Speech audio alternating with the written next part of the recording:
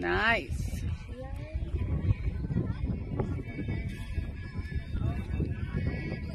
Nice. Oh.